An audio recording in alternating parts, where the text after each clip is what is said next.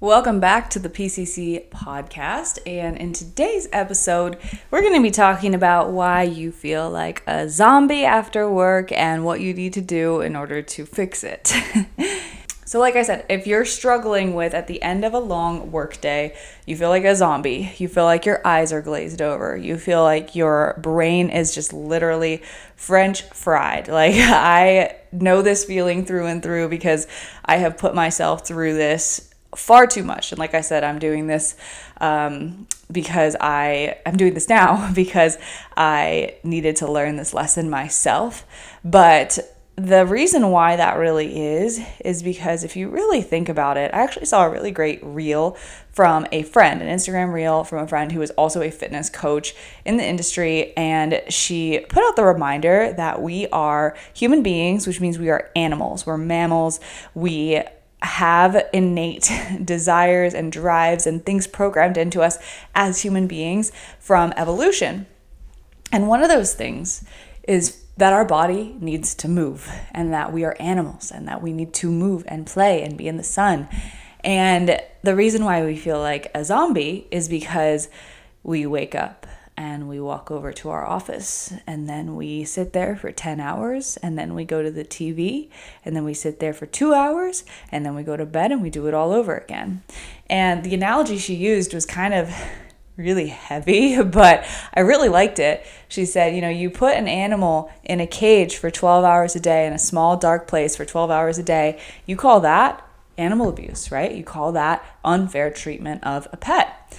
But you do it to yourself, and that's just life. and so um, I thought that that was really, really interesting because it's kind of true. We do just lock ourselves indoors.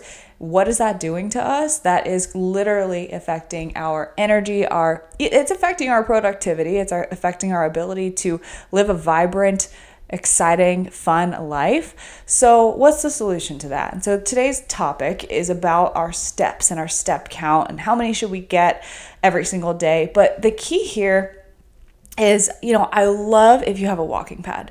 I have one too. I use it all the time. I love that, you know, we want to get steps in more creative ways and we want to get them around the house. We're going to talk about all of that, but I want to kind of couple this in here steps outside. Let's go get sunshine. Let's be outdoors. There is um, research to show that the stimulus that we get from walking outside, because the environment kind of moves around us and it actually changes, does more for our brain than walking in place on a treadmill for our mental health. And so, the reason that steps are so important, yes, for our physical health, yes, for our fat loss, but also for our mental health and well being to get outside and remind ourselves that there's a world out there that we can live in and play in and not just be cooped up in a room all day long, which is something I'm totally culprit of. So that's why I wanted to talk about it today. So, a couple of ways that not getting enough steps can really impact you on a day to day basis would be number one, like I said, having that zombie like energy at the end of the day or lack thereof, feeling like a drained battery, feeling like your brain is absolutely fried, feeling like your eyes are glazed over. But also, other consequences of this are having lots of aches and pains in your body throughout the day, especially hips and knees and ankles, and also uh, constipation, not being able to digest through food well, not feeling like you have really any good digestion or reactions to eating food at all because we need to move our bodies to have that kind of motility. So, the solution is that we are, well, the problem is that we're not moving enough and we need to implement more movement into our day. We can do that indoors, but we also want to do that outdoors.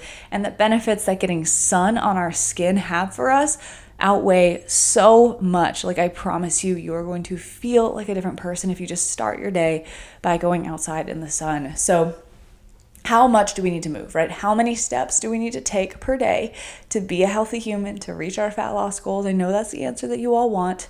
So, how many steps? So, basically, there's been a lot of research to kind of figure that out. And contrary to popular belief, it's not just, you know, hit 10,000 steps a day because that's what the Apple Watch tells you to do as the goal.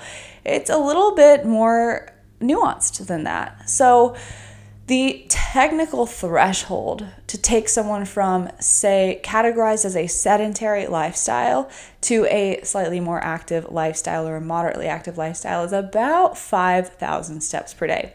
So, general rule of thumb with steps is that about 2,000 steps usually constitutes a mile. Now, that's not taking into account your stride length and how many steps you need to take in order to do that, or whether or not you're running or walking, right?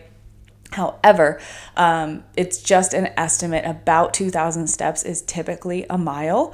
Um, and so 5,000 steps would be two and a half miles per day. You might be looking at that and being like, holy crap, that sounds horrible.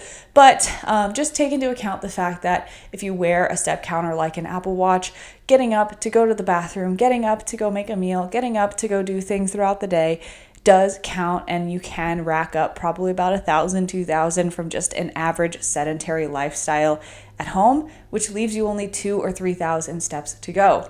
All you really need to do is have a 20, 30 minute walk in there or a couple 10 minute walks broken up throughout the day to get to that goal of 5,000 and not be completely sedentary. So, if you don't move at all, my first goal for you is just get to five just get to 5,000 steps or wherever your steps are. Let's say they're at 1,000, 2,000, 3,000.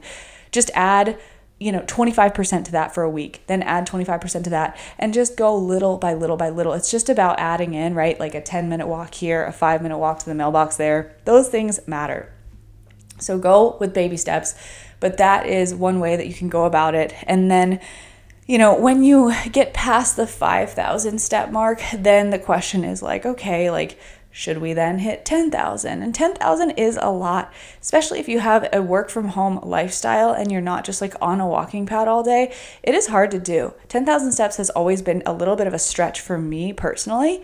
Um, and it's something that I really have to actively work towards, and I do have to use my walking pad for. But I definitely recommend, you know, if you are at that 5,000 and you want to get into the active category, the active lifestyle category, the threshold for that is about our 7,500, 8,000 step range per day is considered more active. And there are a lot of health benefits, body composition benefits, physiological benefits to hitting that 7,500 step threshold per day. The reason that I make this distinction is because it's honestly just kind of encouraging for people to hear like wow i don't need to hit a whole freaking 10,000 steps per day in order to be healthy to be active because that can oftentimes be discouraging for people who do lead very sedentary jobs that are not accustomed to that at all like for myself if i heard that i would probably be like well there's no hope for me, right? Because I just, it's a really big struggle for me to hit 10,000 steps a day.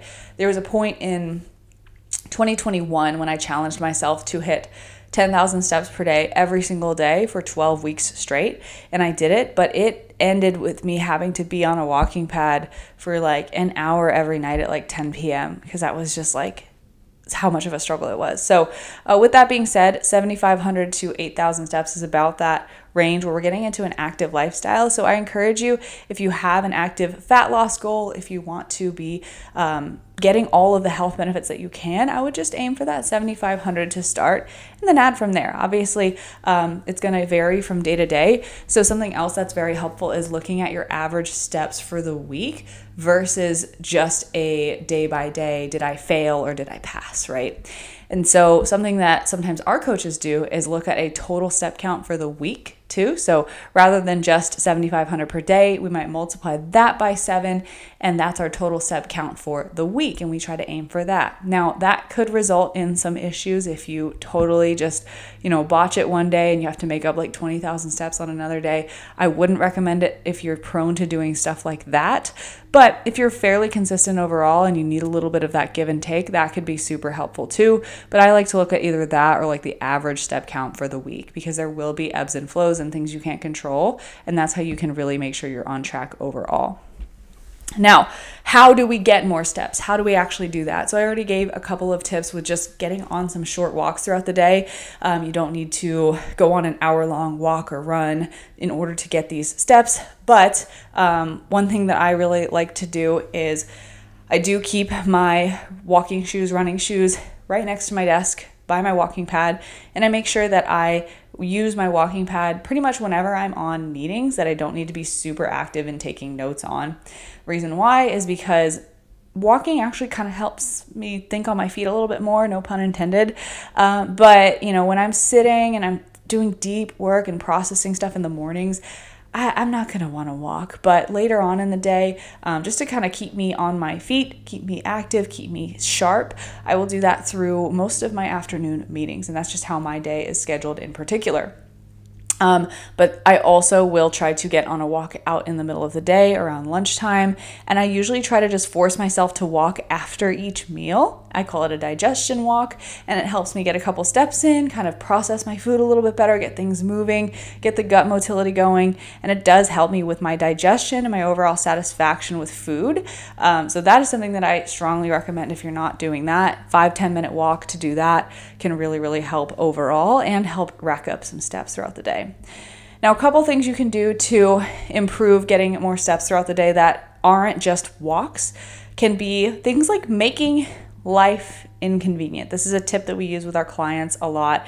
Uh, whenever it's, say, a rainy day, or that's just not like the phase of life that they're in where they can go out and walk, you know, out on the street because it's not a safe area. Making things inconvenient. So think about this.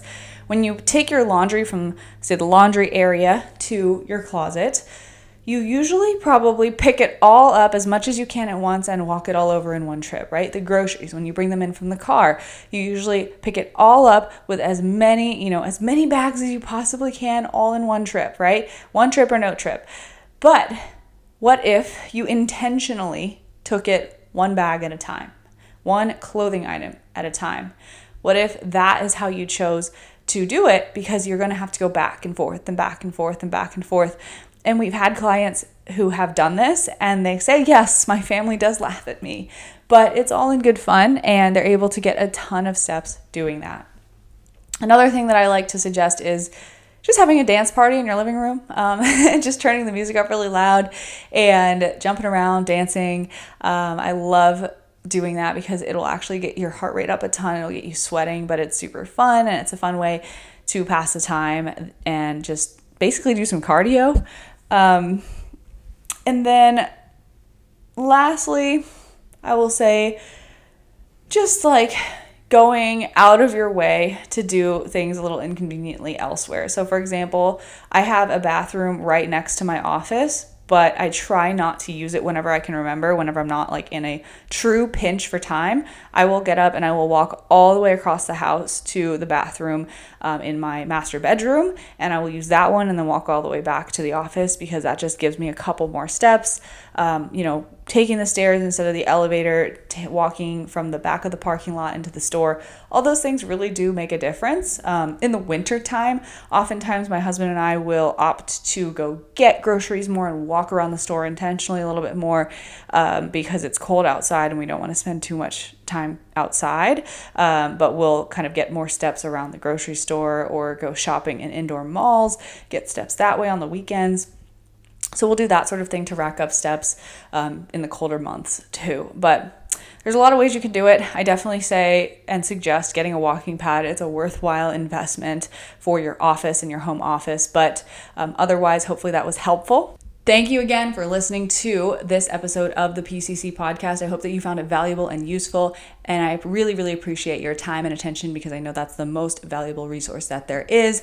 So if you haven't already, leave a rating and review for the podcast. It really does help us reach more women and more people and make a bigger impact. And make sure you're subscribed if you like this episode and you want more stuff like this coming into your inbox. So, let me know if you have any suggestions for future episodes, but thank you so much for listening, and I'll hope to see you back next week.